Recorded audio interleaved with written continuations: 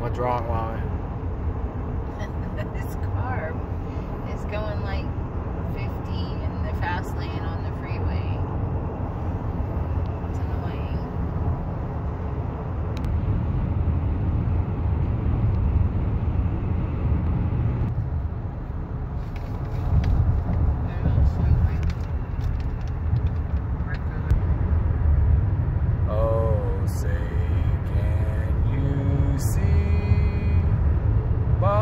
By dawn's early light?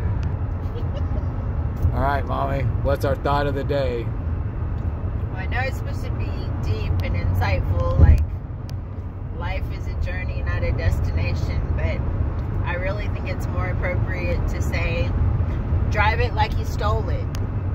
All right, then, that's our thought of the day. Drive it like you stole it.